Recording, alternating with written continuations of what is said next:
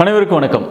கால் பெருவரலில் ஏற்படக்கூடிய வீக்கம் வலி சிவந்து போகிறது மற்றும் மொத்த பாதங்காலம் ஒரு அன்யூஷுவலாக வலிக்கிறது. குதிகாலில் ஏற்படக்கூடிய வலி முட்டிகளில் நீ ஜாயிண்டில் வர்ற வலி இவற்றிற்கு யூரிக் ஆசிட் அதிகரிக்கிறது முக்கியமான காரணமாக இருக்கிறது. எனவே இந்த பதிவில் யாருக்கெல்லாம் யூரிக் ஆசிட் அதிகரிக்க வாய்ப்பு இருக்குது எப்போ நம்ம செக் பண்ணிக்கணும் என்ன உணவுகளை இந்த யூரிக் ஆசிட் அதிகரிச்சதுன்னா நம்ம தவிர்க்கணும். மற்றும் வேறு என்ன இயற்கையாக யூரிக் ஆசிட் சுத்தப்படுத்துறதுக்கு குறைக்கிறதுக்கு நம்ம வீட்டிலேயே வீட்டு முறை மருத்துவமாக பண்ணிக்க முடியும் அப்படிங்கிறத பற்றி பார்க்க போகிறோம் சின்ன வீடியோ தான் தவறாமல் முழுமையாக பாருங்கள் வாங்க பதிவுக்குள்ளே போகலாம்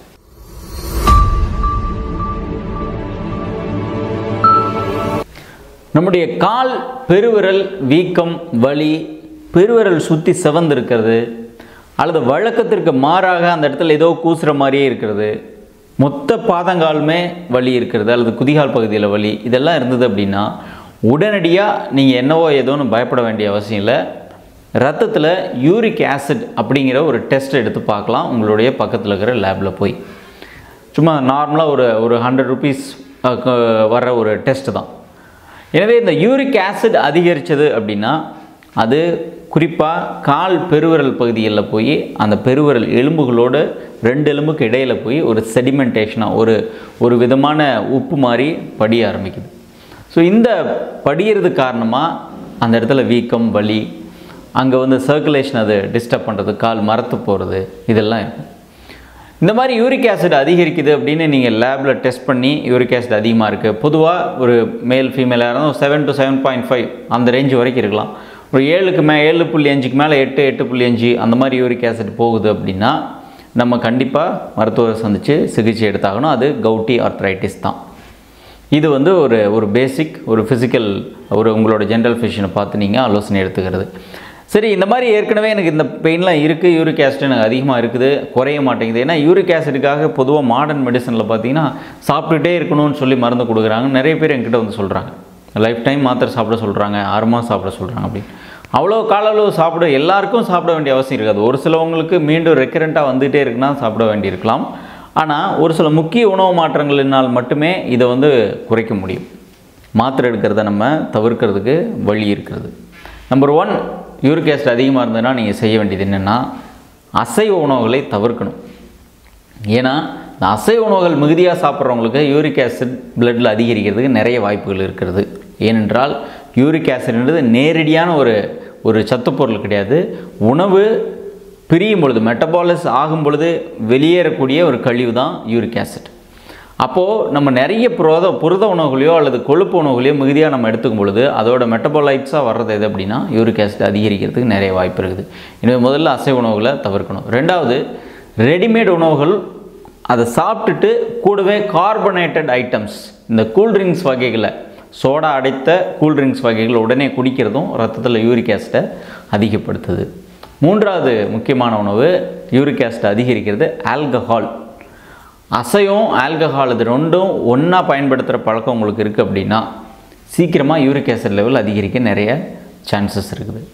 எனவே அசைவம் ஆல்கஹால் கார்பனேட்டட் ட்ரிங்க்ஸ் மற்றும் ஹோட்டலில் சாப்பிடக்கூடிய ரெடிமேட் உணவுகள் இவை நாலுமே யூரிக் ஆசிட் அதிகரிக்குன்றதுனால ஒன்ஸ் நீங்கள் பார்த்துட்டீங்க அப்படின்னா உங்களுக்கு ப்ராப்ளம் வந்துடுச்சுன்னா இந்த நான்கையும் முற்றிலும் தவிர்த்தால் மட்டும்தான் அல்லது குறைத்து கொண்டால் மட்டும்தான் யூரிக் ஆசிட் குறையும். இந்த இந்த முக்கியமான வழிகள் என்ன வழிகள் அது வந்துச்சோ அந்த அந்த காரணங்களை நம்ம செஞ்சுக்கிட்டே நீங்கள் மாடர்ன் மெடிசன் எவ்வளோ தான் சாப்பிட்டாலும் நாட்டு மருந்து எவ்வளோ தான் வாங்கி சாப்பிட்டாலும் சித்தா ஆயுர்வேத மெடிசன் சாப்பிட்டாலும் பெரிய அளவுக்கு எஃபெக்ட் இருக்காது. குறையும்.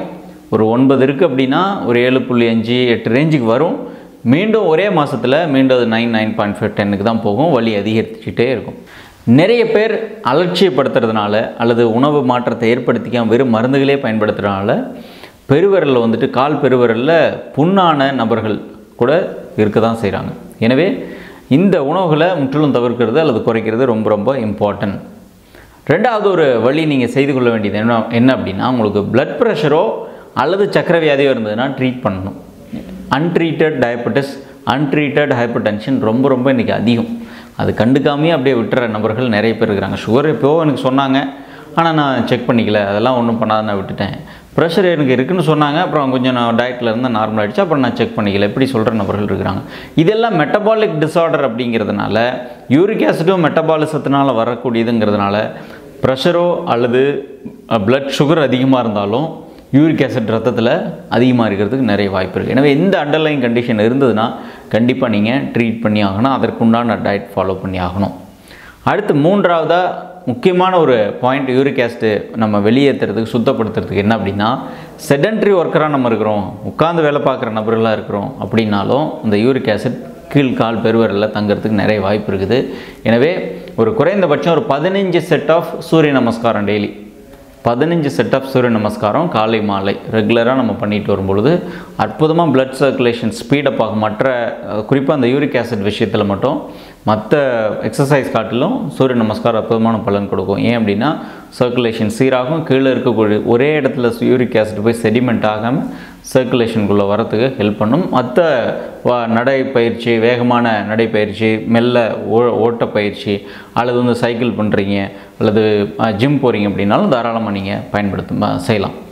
உடல் சர்க்குலேஷன் ஸ்பீட் ஆகுதுன்னா யூரிக் ஆசிட் அதிகமாக இருந்தாலுமே கூட ஏதாவது ஒரு இடத்துல ஒரு ஜாயிண்ட்லேயோ அல்லது ஒரு கால் பெருவர்லேயோ போய் நிற்காமல் இருக்கிறதுக்கு இந்த பயிற்சிகள் ஹெல்ப் பண்ணும்.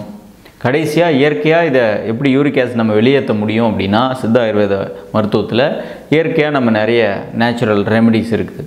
அது ஏற்கனவே ஒரு பதிவில் போட்டிருக்கோம். அந்த பதிவினுடைய லிங்க்கு டிஸ்கிரிப்ஷனில் கொடுத்துருக்கிறேன். நீங்கள் போய் பார்த்து பயன்பெற்று கொள்ளலாம். ஒரு வரியில் சொல்லணும் அப்படின்னா யூரிக் ஆசிட்டை குறைக்கக்கூடிய அற்புதமான மூலிகை என்னென்னா இரண்டு நெரிஞ்சில் மற்றும் மூக்கிரட்டை. இது ஏற்கனவே நம்ம பதிவிட்டுருக்கிறோம். இந்த நெரிஞ்சில் மற்றும் மூக்கிரட்டை ரெண்டுமே உங்கள் ஊரில் உங்கள் பக்கத்தில் இருக்கக்கூடிய சித்த ஆயுர்வேத டாக்டரோட மருத்துவமனையில் கிடைக்கும். ஸோ அவங்களோட யூரிக் ஆசிட் டெஸ்ட் எடுத்துகிட்டு போய் அவங்களோட கிளினிக்கில் காட்டி எனக்கு அதிகமாக இருக்குது அப்படின்னு சொன்னால் ஒரு மாதத்துக்கு தொடர்ச்சியாக நெரிஞ்சில் மற்றும் மூக்கரட்டை காம்பினேஷனில் மாத்திரைகளோ சூரணமோ உங்களுக்கு கொடுப்பாங்க. ஸோ இதை தொடர்ந்து ஃபாலோ பண்ணிவிட்டு மீண்டும் போய் நம்ம செக் பண்ணி யூரிக் ஆசிட் கம்மியாயிடுச்சு அப்படின்னு பார்க்க வேண்டும். இதை வீட்டிலேயே நீங்கள் செஞ்சுக்கிறதா இருந்ததுன்னா நெரிஞ்சில் குடிநீர் பொடியாக கிடைக்குது. வாங்கி ஒரு முந்நூறு எம்எல் தண்ணியில் ஒரு பத்து கிராம் அளவுக்கு நெரிஞ்சில் பொடி போட்டு நூற்றம்பது எம்எல் வர வரைக்கும் நல்லா சுண்டை காய்ச்சி அந்த நூற்றம்பது எம்எல் காலை நேரத்தில் வெறும் வயிற்றில் குடிச்சிட்டு வரலாம். இரவு நேரத்தில் குடிக்காதீங்க. நெரிஞ்சில் குடிநீர் மூக்கரட்டை இரவில் குடித்தோம் அப்படின்னா அதீதமான சிறுநீர் போக்கு இரவு நேரத்தில் இருக்கும். அது தூக்கத்தை டிஸ்டர்ப் பண்ணுங்கிறதுனால மூக்குரட்டையோ நெரிஞ்சலோ காலை நேரத்தில் பயன்படுத்துறது நல்லது. இது செய்ய முடியாதவங்களுக்கு நம்ம நார்மலாக உங்கள் ரெகுலராக டாக்டர்கிட்ட பார்த்து நீங்கள் ஆயுர்வேத டாக்டர்கிட்ட ட்ரீட்மெண்ட்டாகவே எடுத்துக்கொள்ளலாம் ஒருவேளை நம்ம யூரிக் ஆசிட்டை சரியாக ட்ரீட் பண்ணலை. அதற்கு உண்டான மருந்துகளோ அல்லது உணவு முறை மாற்றங்களோ செய்யாமல் வருஷக்கணக்காக விட்டுக்கிட்டே இருக்கிறோம் அப்படின்னா என்ன விளைவுகள் வரலாம் அப்படின்னு நீங்கள் கேட்டிங்கன்னா நம்பர் ஒன் கவுட்டி ஆர்த்தரைட்டிஸ் ஸ்ட்ராங்காக ஃபார்ம் ஆகும். பெருவிரல் மற்றும் முட்டுகள் எங்கே போய் அந்த யூரிக் ஆசிட் அதிகமாக தேங்கி உப்பாக மாறுதோ அந்த இடம் வந்து இன்ஃபெக்ட் ஆகிறதுக்கு வாய்ப்பு இருக்குது அந்த இடத்துல வந்து சர்க்குலேஷன் இல்லாதனால இருக்கக்கூடிய செல்கள் நெக்ரோசிஸ் அப்படிங்கிற செல் செ- அந்த இடத்துல இருக்கிற செல்கள் மட்டும் இறந்த செல்களாக மாறி செப்டிக் ஆகி சர்ஜரி வரைக்கும் போகிறதுக்கெலாம் வாய்ப்பு இருக்குது. எனவே முடிஞ்ச வரைக்கும் தவிர்க்க பாருங்கள் அந்த மாதிரி காம்ப்ளிகேட் ஆகாமையே.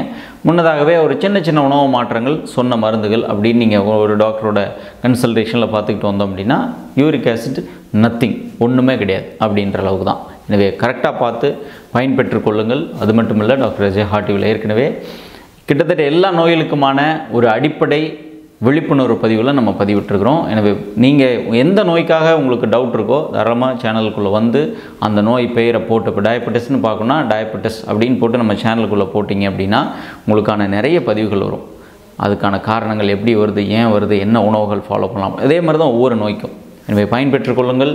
புதுசாக பார்க்குறீங்க அப்படின்னா சப்ஸ்கிரைப் பண்ணிக்கோங்க. ஸோ தட் அடுத்தடுத்து நம்ம பதிவிடுற பதிவுகளோ அல்லது உங்களுக்கு தேவையான நம்மளுடைய பழைய பதிவுகளோ நீங்கள் பார்க்குறதுக்கு ஏதுவாக இருக்கும். மீண்டும் இன்னொரு வீடியோவில் சந்திக்கலாம். நன்றி. வணக்கம்.